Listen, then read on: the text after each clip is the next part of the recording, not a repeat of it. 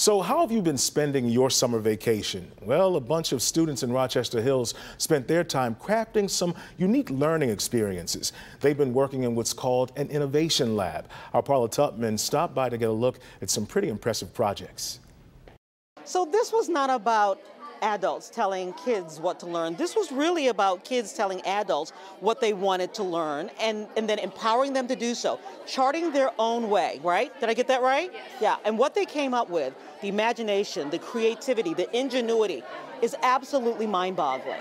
The regular potato is 0.5 volts. If you boil it in water, it's 5 volts, so it's more volts. Did you know you can create electricity with fruits and veggies? Citric acid inside the lemon releases the electrons in the zinc and the copper has a strong pull, so it travels towards the copper. We have wires connecting, and then slowly, to, and then this LED will light up. And there's such a thing as good algae. Because it produces more oxygen than trees. These are just some of the projects middle schoolers came up with for the Innovation Lab, the Rochester Community School District's answer to summer camp.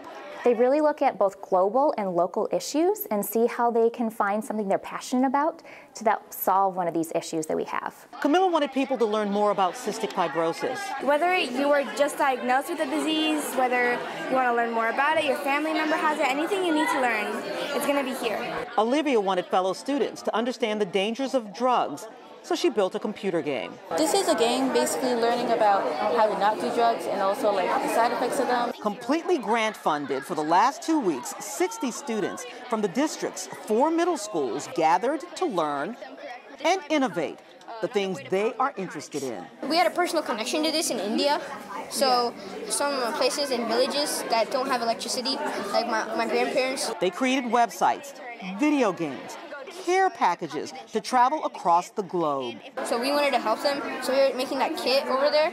So that will be, we will be finding an organization that will send those kits to places that don't have electricity so they can at least kind of a little bit light to do stuff. They created, innovated, and learned for the sheer fun of creating, innovating, and learning. This might become uh, another way to power electronics.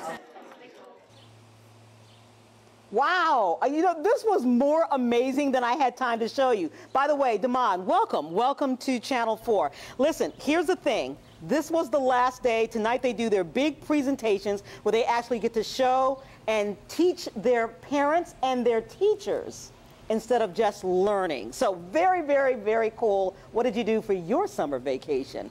Yeah, well, I moved here, Paula. you know, good to see those students immersed.